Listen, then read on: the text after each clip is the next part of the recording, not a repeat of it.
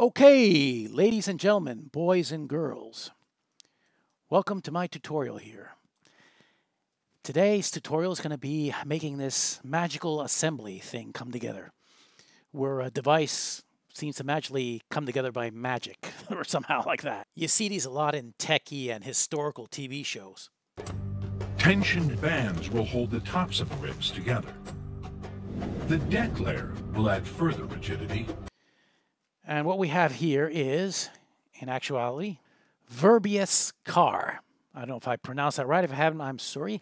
It is actually was actually built in 1672. The very first self-propelled vehicle. It was a toy, so pretty basically a uh, the world's first uh, self-propelled dinky car. But you can learn more about this car and the man who built it, Ferdinand Ver Verbiest, on my channel neglected histories. Histories you may have never heard of, but are fascinating nevertheless. So please check it out sometime when you have the time. Please do so. All right, getting back to the car here. As you can see, I haven't shaded anything. No textures or anything.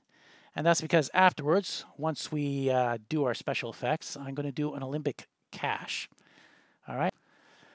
And once you do an Alembic cache, it doesn't translate the uh, textures or shaders used at any rate, so may as well just wait to do that till the end.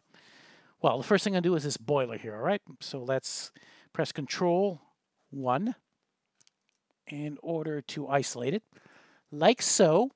Oh, let me tell you, when I was a little kid in grade school, I think grade one or something like that, I had this English teacher from England.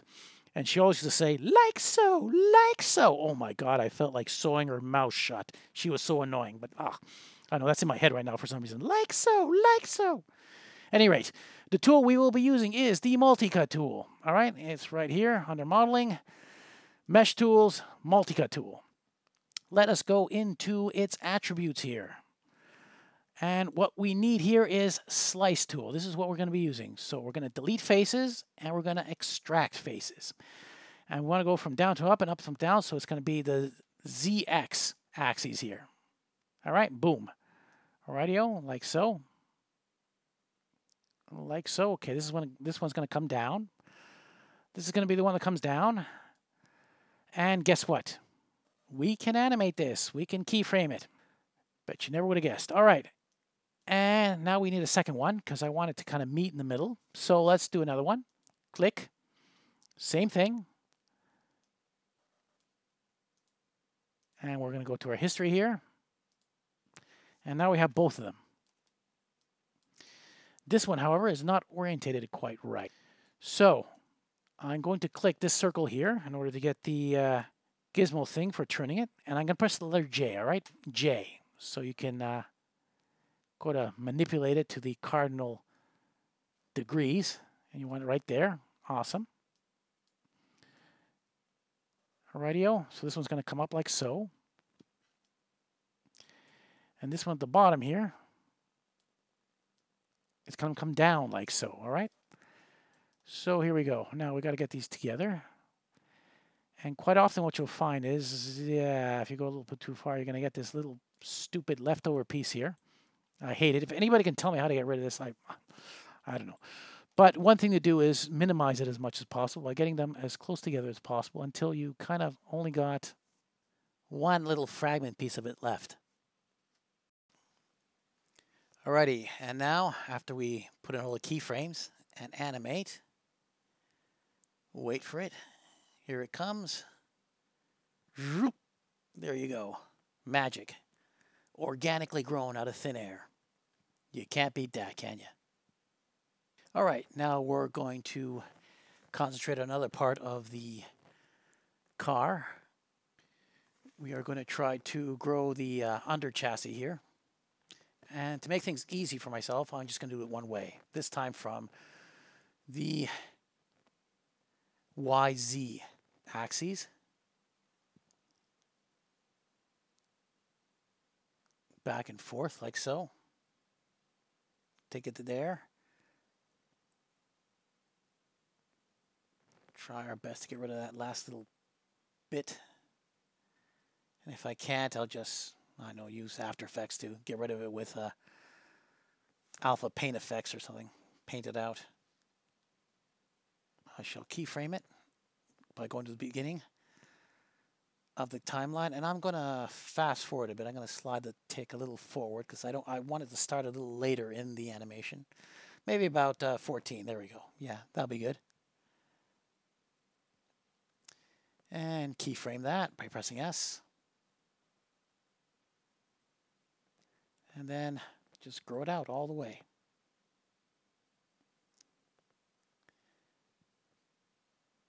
And there you go, the under chassis. I'm going to click out of isolation mode. I'm going to press F8 to go back into uh, object mode. And rewind and you see what we got here. First one thing grows out and then the other. Kind of cool, I think. Okay, so now let's uh, deal with the rest of the assembly. I want, uh, we'll start with the wheels. I want the wheels to kind of fly together as if out of nowhere. All right, so I'm going to pick a certain spot on the timeline for when I want them to actually arrive. Then I'm going to select them all, like so, like so. And uh, then I'm going to go to the end of the timeline or close enough to it, like right here. And of course, I'm going to start moving my wheels. Way far away out of camera frame, wherever camera frame we might choose to film this in, or render in, I should say. Alrighty, and then of course I'm going to select them all and uh, press S. On both sides, press S. And there you go. Whoop. They all fly together. Now we'll uh, do the same thing with the axes here. Let's select the spot. I want them to come in just before the wheels come in so that they're ready to shish kebab the wheels when they come in. So I'll keyframe it there. And I'm going to have them come in from opposite angles or opposite directions. So I'm going to click this one way over here. And I'm going to take this axis and slide it in the other direction way over there. And then keyframe it. Press S. And there we go. Boing. Okay, I take it from here on out, you pretty well get the idea. Maybe I can do the same thing with this gear shift thing. I wanted to come in just before the body kind of cages it out, so before it uh, gets shut off from getting in there. So way over there. And then it comes in just as the uh, under chassis is finished being formed.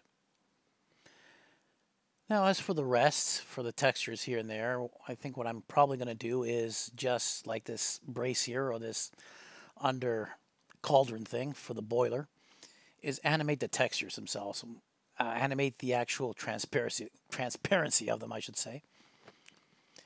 Meaning that, uh, oh, here I'll go. I'll show you right here. If I go to transparency, and I completely put transparency to 100 or actually start off at completely opaque and then keyframe it and there you go. Of course, I'll be doing it to the individual textures for those uh, two objects, which I'm going to use some sort of iron shader for. And it look like they're materializing as the rest of the assemblies coming together or growing from in out from from in out of itself type of thing. Okay, and uh, that pretty well brings it to an end. I mean, not much more you need to know.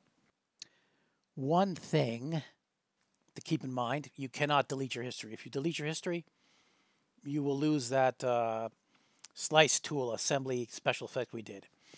It'll be frozen at whatever apply in the timeline you deleted your history. So, in order to get around that, one thing you can do is an Alembic cache, which is just in your uh, animation menu set under you guess it cache. Go to Alembic cache and then select whatever objects you want to cache and select export selected Alembic. All right, and you can get a tutorial on how to do Alembic caches. They're pretty simple. They're very simple, and then just import it. And if you do that that way, you'll still lose the special effect when you delete history, but you'll be able to re-import it at any time. So you've kind of baked it out into a, a series of files that uh, you can re-access at any point you want to. All right. Now to show you one more thing, I'm just going to show you one more thing. I'm going to create a spear here. I'm going to grow it out here a bit. And once again, I'm going to use the multi-cut tool. Right there, go to slice, go to slice.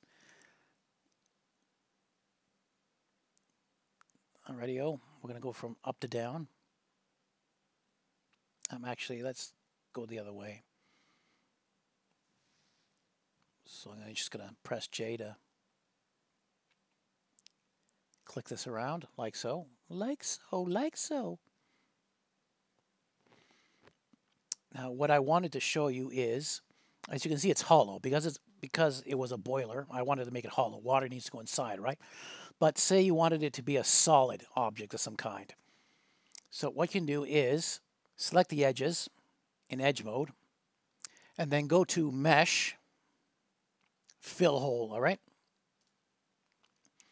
I'm sorry you cannot see my drop-down menu in this screen capture. I don't know why that's happening, but trust me, it's under mesh, fill hole, all right? And now you filled in the hole, obviously. For the first section at least, you have it filled in. Now, if you want to do the second section or continue or other continuous sections, you just have to repeat the process, all right? So I'm going to repeat the process. I'm going to select all the edges, go to mesh, fill hole. And there you go. For those two sections there, and you got it one, two. And you can continue going up or down, just keep going, filling in the hole. And that pretty well concludes this the uh, tutorial. Okay, so you know what I'm going to say here, right? You know it. You know what's coming. Please subscribe. Hit the like button and click the notification bell. well, do it if you want to or not, but uh, any rate, Thank you for watching my tutorial, and I hope to see you on my channel. Take care. Bye.